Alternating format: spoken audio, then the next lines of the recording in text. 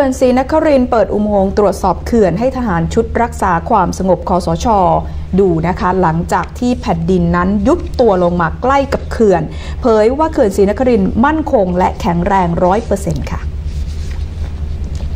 จากกรณีที่ชาวบ้านศรีสวัสดิ์ผวาแผ่นดินนั้นยุบตัว โรงเรียนบ้านบนเขาแก่งเรียง หมู่ที่ 3ตำบลท่ากระดานอำเภอศรีสวัสดิ์จังหวัดกาญจนบุรีนานร่วมปี และขยายวงกว้าง ลึก 20 เมตร กินพื้นที่เกือบ 2 ไร่ ห่างสันเขื่อนศรีนครินประมาณ 5 กิโลเมตร นายจิรเกียรติภูมิสวัสดิ์ผู้ว่าราชการจังหวัดกาญจนบุรีสั่งกันพื้นที่ และเร่งแก้ไขปัญหา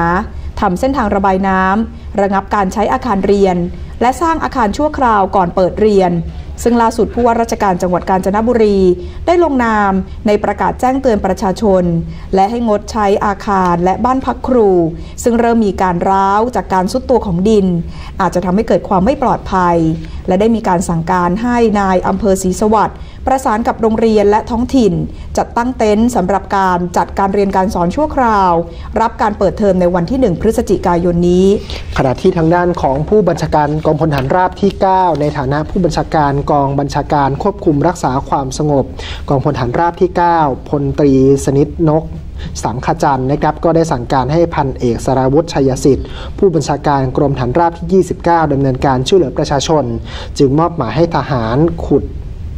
ชุดรักษาความสงบอำเภอศรีสวัสดิ์จัดชุดลาดตระเวนตรวจพื้นที่โรงเรียนบ้านบนเขาแกงเรียง พร้อมนายชัยวุฒิหลักเมืองผู้ช่วยผู้อำนวยการเขื่อนศรีนครินทร์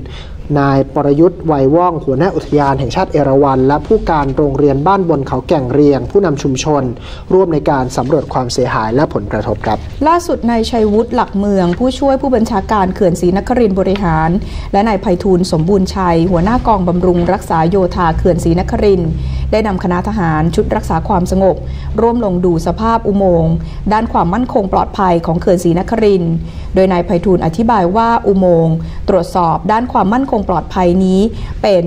ที่ซึมผ่านตรวจเขื่อนแรงดันน้ำและการร่วมซึม ทั้งนี้การก่อสร้างทางวิศวกรรมของเขื่อนศรีนครินนั้น มีการอัดน้ำปูนลงไปใต้ดินลึกมากกว่า 100 เมตร ตลอดแนวสันเขื่อน เพื่อม่านทึบน้ำน้ำใต้ดินไม่สามารถที่จะลอดออกมาได้ ซึ่งจากการพบว่าเขื่อนมีสภาพ จากการตรวจสอบนะคะพบว่าเขื่อนนั้นมีสภาพปกติ มีการกักเก็บน้ำกักเก็บน้ำอยู่ประมาณ 15,500 ล้านลูกบาทเมตร จากปริมาณเก็บกักที่ 17,745 ล้านลูกบาทเมตร ยังคงสามารถรับน้ำได้อีก 2,000 ล้านลูกบาทเมตร และขอยืนยันว่าเขื่อนศรีนครินทร์นั้นมั่นคงแข็งแรงร้อยเปอร์เซ็นต์ค่ะ